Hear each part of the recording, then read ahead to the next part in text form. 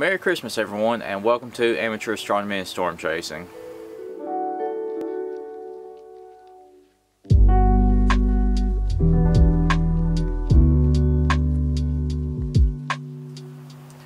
I hope each and every one of you had a very Merry Christmas this year.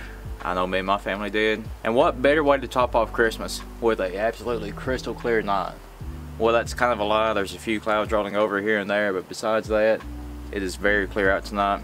And the moon hasn't even started to rise yet. So I've got the camera currently pointed at Andromeda. I'm popping off minute and a half shots, I think at 1600 ISO. So far everything's looking really good. So fingers crossed.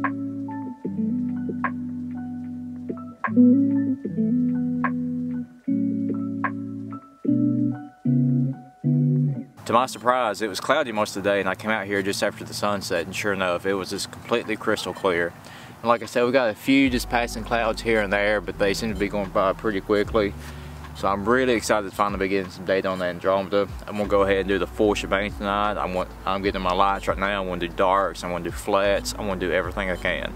I've also got this new dew heater finally, and uh, it's just a very basic $16 I think it was dew heater off of Amazon and so far it's worked flawlessly. Yeah, I think the plan is tonight I'm just going to keep on shooting the Andromeda Galaxy here and just kind of see what I can get. Like I said, it's a really clear night. My polar alignment seems to be pretty spot on for once. And hopefully here before too long I'll be able to say whether or not this is a good budget friendly astrophotography setup.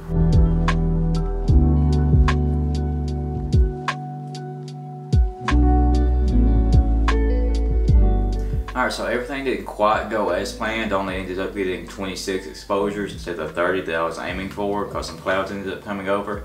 But that's how it goes sometimes, and I'm glad I was able to get what I could.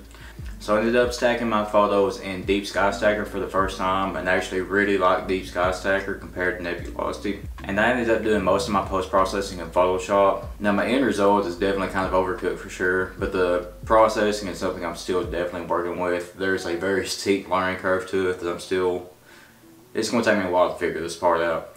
But overall, I'm really, really happy with this picture. This is by far the best picture I've gotten for my astrophotography journey so far. And I'm super happy that it was Andromeda. Andromeda is something that's escaped me time and time again. And I'm just, I just think it's really cool that it so happened to turn out to be a really good Christmas gift. And again, I hope you guys have a very Merry Christmas. I know I sure did. So thank you guys so much for watching this quick video here. It's not exactly what I had in mind for my Andromeda video, but I'm definitely happy with the way it's turned out. I don't think it could have turned out any better for my first time with it.